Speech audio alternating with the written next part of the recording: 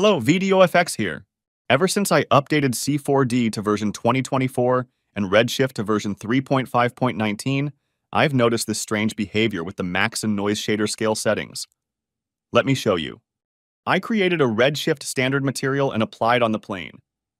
In the material editor, I'm going to add a Maxon Noise node and connect it up to the base color input. In the viewport, we can see the preview of the noise as we expect. But in the render, the noise doesn't appear to be there. After some testing, I realized that the scale of the noise is causing the issue. When I change the overall scale to 10, the viewport noise size is larger. But the render looks like how it was supposed to be at a scale of 1.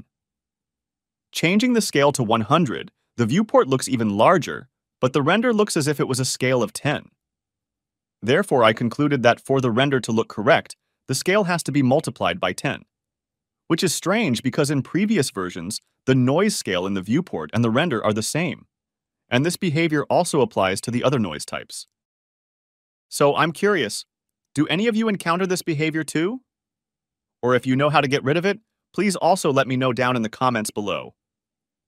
In the meantime, I just have to multiply my noise with 10 every time. Thanks for watching.